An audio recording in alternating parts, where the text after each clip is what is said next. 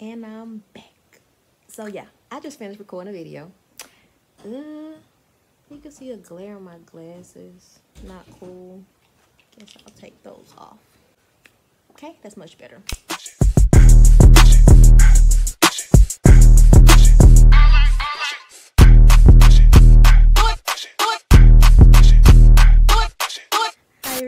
Welcome back to my YouTube channel. This is Life of Laemaj. Um, make sure you hit that subscribe button, quick thumbs up, and leave a comment down below.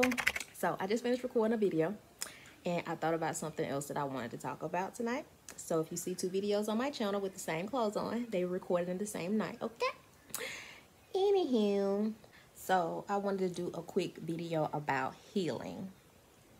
When it comes to healing, I want to say to anybody who is going through something, whether it is the loss of a job, the loss of a loved one, a heartbreak, a car accident, anything. I mean, I'm talking anything that you experience in life. Do not allow anyone, I'm talking anyone, do not allow anyone to tell you when and how to heal. Okay?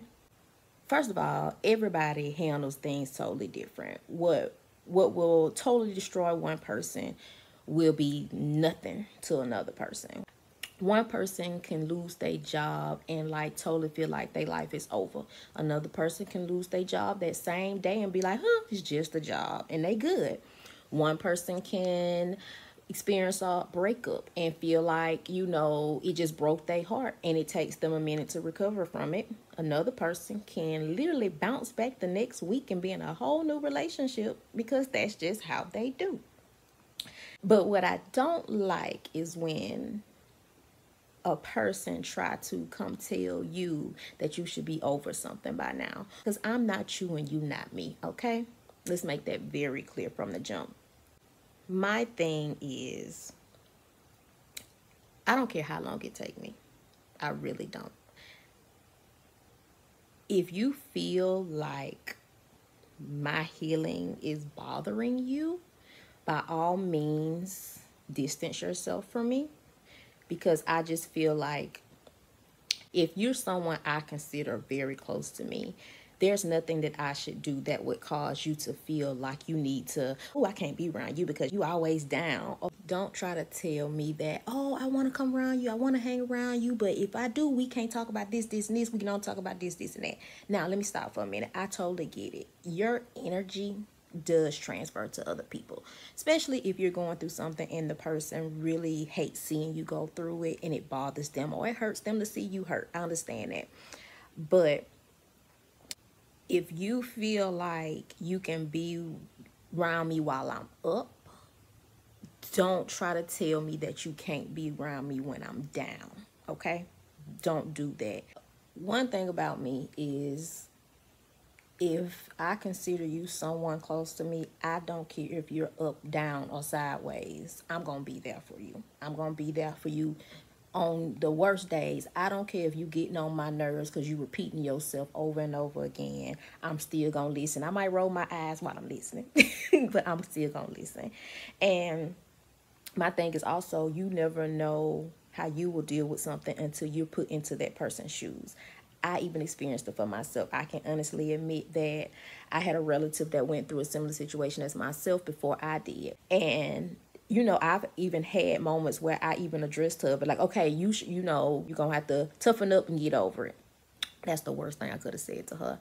I have now since then apologized. It, it wasn't it wasn't a good thing to say to somebody going through something like that, especially like I said, if you have not experienced it, so you don't know the feeling. You don't. And now that I've got placed in her shoes in a similar situation, um, I apologized to her and I was like, hey, you know, when you was going through it and I was fussing at you, I didn't know what it was until now, you know, and I was woman enough to apologize for that. And now she's actually been there for me, never left my side. I don't care if I need to just call her at two o'clock in the morning just to cry and get it out. She like listened to me, she prayed with me, and she like, you gonna have a better day tomorrow. End of story. So, like I said, I'm saying to you, if you are going through something, no matter what it is, do whatever you need to do to heal. Do whatever you need to do to get over it. I don't care if you need to kick, scream, and holler, do it. If that's going to make you feel better, do it. Anybody who's in your life who feel like you're bothering them, let them go. Okay? Listen to me when I say this. You'll feel so much better afterwards. Let them go. Let them do what they need to do to distance themselves from you. That's fine. By all means, that is fine. Because the thing about it is, when you're already feeling down, you do not want to surround yourself with anybody that's going to make you feel worse. It's like I'm already feeling bad. I'm already hurt. I'm already going through the motions. And then you come around me and you make me feel bad for feeling bad. You get what I'm saying? That that's not good. That's not a good feeling. Now you done sent me into a spiral effect because I feel like I'm bothering people for hurting. you know what I'm saying? So I actually, you know, over time got to the point to where I just started bottling it up and I kept it to myself because I did feel like I was bothering people. But that didn't help me because then it's just a big you know, build up of emotion that's going to eventually explode. So I'm very thankful for the few people that I do have that stick by my side and will listen to me anytime that I need them. In the midst of what I was going through, I did not like having people around me who try to tell me that how I'm feeling should not be felt. You know what I'm saying? I don't like that. Um, healing takes time. Healing takes growth healing takes patience. It's not going to happen overnight. Well, for some people it do, but for you it may not, and that is okay. Do what you need to do to get through whatever it is you're going through, and do not let anyone tell you any different. Okay? So, yeah, that is a part of my story.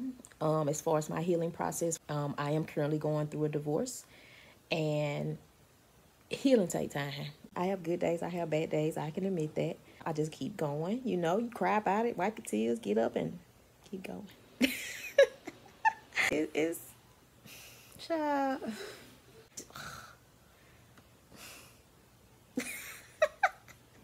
I just don't want anyone out there to feel like they are alone or to feel like their healing is bothering somebody. Who cares?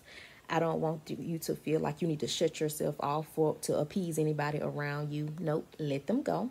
And once you get yourself into a good space, then you can possibly reconnect with that person you know, let them know how you feel. Like, I don't appreciate the fact that you feel like I was bothering you or you couldn't be around me because I was going through something, but yet you can hit me up on a on a good day because you see me smiling on the internet or you see a status where I'm happy. Now all of a sudden, oh, what's up? What you doing? You want to do this? You want to do that? No, because my thing is, I don't want anybody around me who feel like you can't be around me while I'm down if they are your true friends, true loved ones, y'all will eventually reconnect but do what you need to do to make yourself feel better. Get through your healing process no matter how long it takes. Don't let nobody tell you that you need to be over something in their time. No, do it in yours. Okay? So, I'm going to have many more videos about this. Like I said, I've been through a lot this past year and I am going to tell pieces of my story in hopes that it will help someone else. So, um, if you haven't already, make sure you um, hit that subscribe button, do a quick thumbs up, and don't forget to leave some comments down below. This is Life of Laemaj. Good night.